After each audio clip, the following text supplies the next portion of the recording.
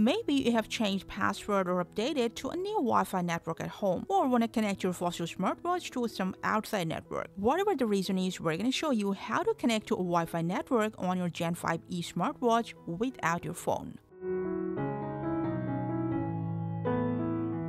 If you want to introduce your watch to an entirely new Wi-Fi network, in that case, just go ahead, open settings from anywhere on your watch, enter it, scroll down, enter connectivity, to Wi-Fi, and then to add network. Wait for a while when the nearby network name appears in here.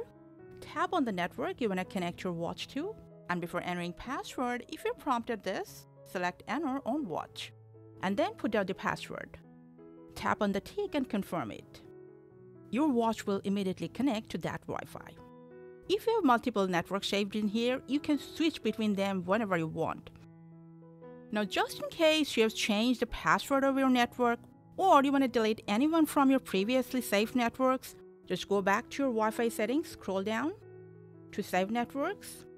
First of all, in this list, you will find all your previously and currently saved networks. If you want to delete one, tap on this cross sign and then confirm the delete process.